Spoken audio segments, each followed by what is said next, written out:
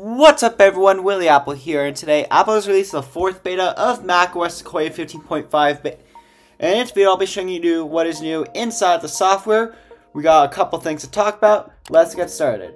Alright, so even though there was a build number change this time around, it seems to only be bug fixes and some internal stuff that was backported to beta 3. So if we were to go to the AppleCare warranty section, this seems to be about the same. However, if you were to click on the show more button, these devices now show up instantly. It also looks like there's no more show less button. So the show less button has been completely removed here, unfortunately. And also the second thing that has been changed in here is if you were to go inside a device right here, before would not show the device name at all. It would just show the serial number and that is it. And also this get support button here has been updated a little bit. Now it's very unaligned. This looks very bad still. I think Apple's trying to experiment with web UI even though it's really bad. Hopefully they kind of revert it back. I do like this banner though and the look of it. I like how more rounded it is, to be honest. But to be honest, it kind of needs to make it match macOS, especially if we were to go back. It's like completely different color schemes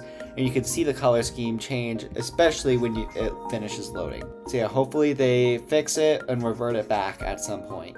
I did look at everything inside this update, compared it to beta 2, just looked at how many changes I could find, and I could not find anything else inside this beta. It's once again a very minor update, not even the stocks app, not even the news app, not even an iPhone mirroring, which is just kind of expected at this late inside the beta stages. But what will we get next from Apple? Let's get our little WilliWidget right here.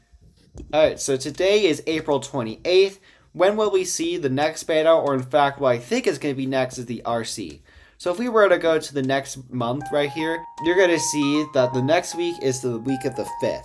I think we're getting RC on May 5th right here. Cinco de Mayo, if you celebrate that. And then the week after, we're going to get the final release, which is the release everybody will see. Now, while Apple does do Pride wallpapers inside of iOS, they typically don't do that in macOS, considering that there's no wallpaper engine or anything like that. So that is not something that you would expect to see here inside of macOS. However, iOS that is completely expected to see. And then I will be saying I'll, I'll be taking a break for the 0.6 betas because I want to be completely ready to go for macOS 16 and iOS 19 and stuff like that. But however, I will be going over my wish list for in the next coming weeks for iOS 19, macOS 16, and everything else. So be uh, subscribed for that.